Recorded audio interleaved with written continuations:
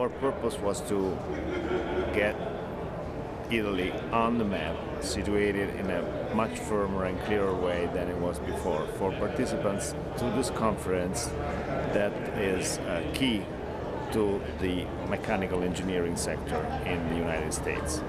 And I think by soliciting uh, collaborations and uh, exchanges uh, both on the uh, scientific and the industrial side, we have done some work towards this purpose.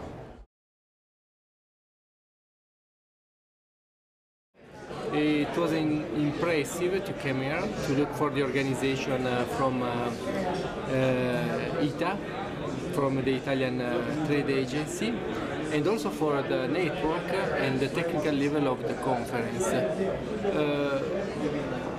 Uh, yes, innovation uh, could come still from Italy.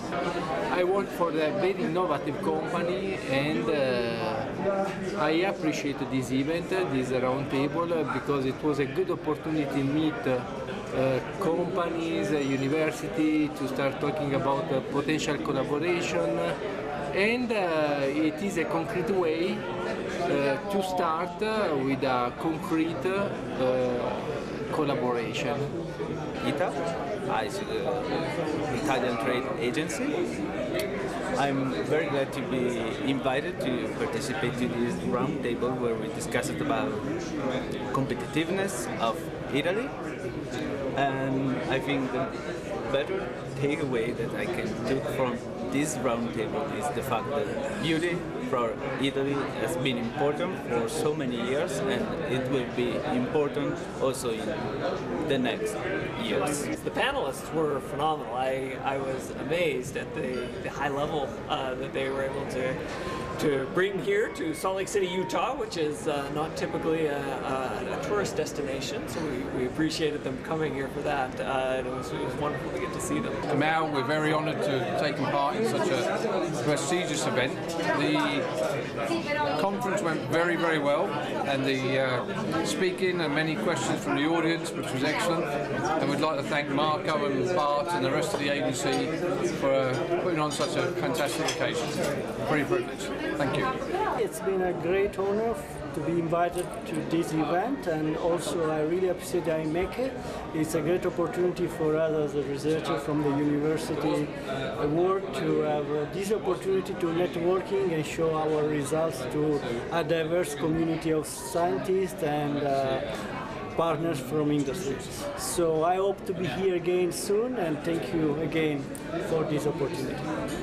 We really appreciate the um, the workshop today because we are now in a specific um, research uh, workshop, uh, conference, where we are able to identify which are the potential area of collaboration we would like to develop within the US counterpart.